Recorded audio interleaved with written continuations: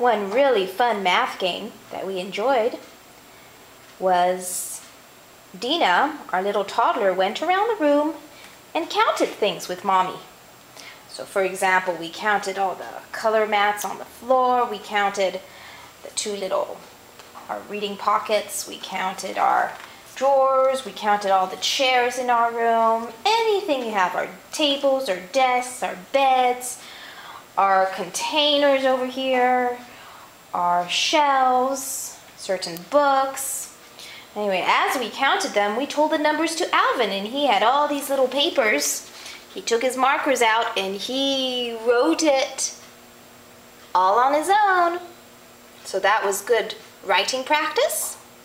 And then he taped it on to the things that we counted. So we had two pockets, so he came and taped number two on them. Then Dina told him another number. She counted the drawers with mommy. We told him six drawers, Alvin. So he wrote number six. And he came and he taped it on there. We counted all the chairs in the room. And he came, he wrote it on his little paper and taped it on the chair. So that was a really fun idea. Something you can try if you'd like. Good way to practice writing for your preschooler and counting for your toddler.